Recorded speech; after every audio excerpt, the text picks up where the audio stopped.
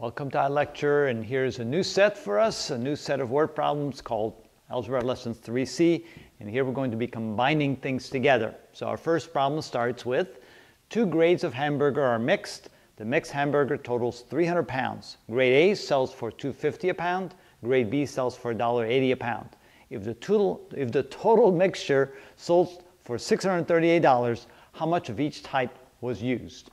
All right, so this is much like a mixture problem, a little bit different. It's done a little bit differently. So let me show you what the best way to go about it is.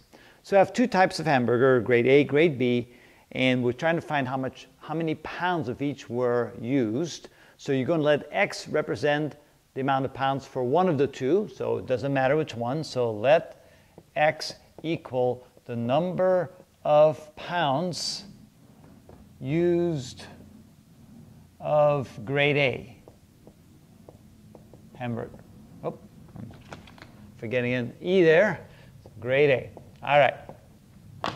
So X represents the number of pounds used of grade A hamburger. Then how do we express the amount of pounds used for grade B hamburger? Well, if the total is 300 and we used X for grade A, then 300 minus X is the amount for grade B. So 300 minus X is the number of pounds used of grade B. All right, now they tell us that the total mixture sold for $638.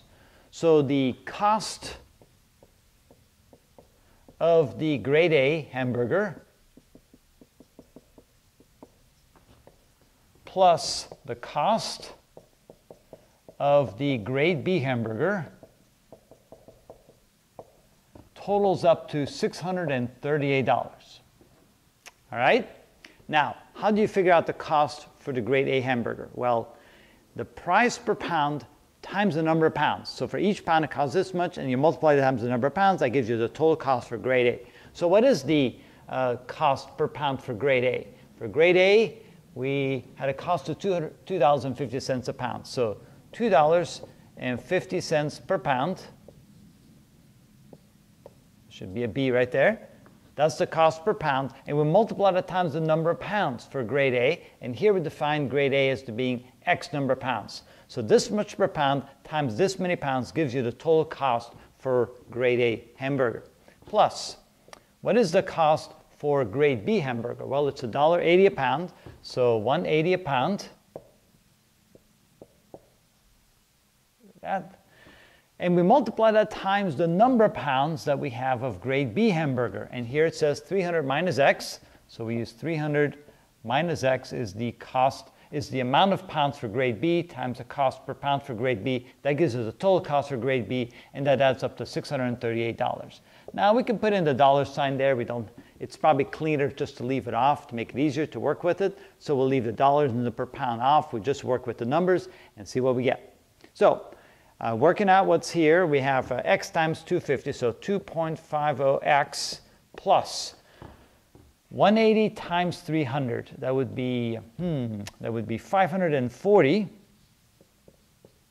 minus 1.8 times x, so minus 1.80x, and that equals 638.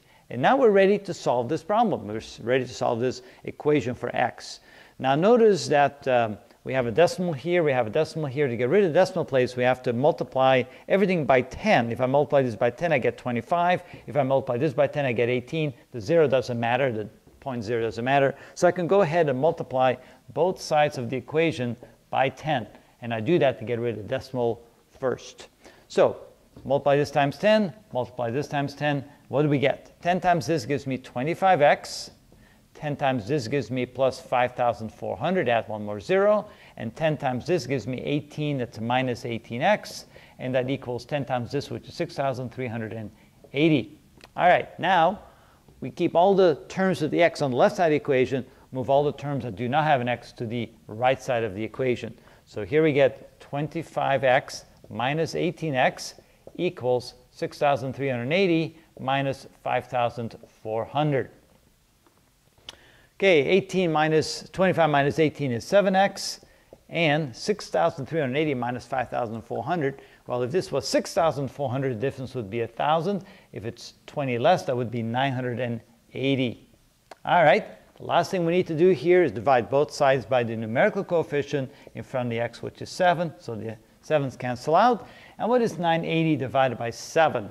Well, 998 divided by 7 would be 14.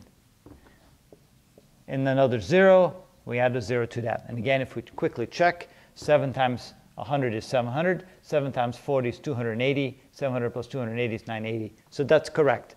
x equals 140. And now we can go back and see how we define everything. Since x represented the number of pounds used of grade A, that means we used 140 pounds of grade A. And then here, 300 minus x, since x is 140, 300 minus 140 is 160. That means 160 pounds were used of ground of grade B. And again, if you add the two together, you get 300, which is how much we had to begin with. So that looks good. That's how you do a problem like that.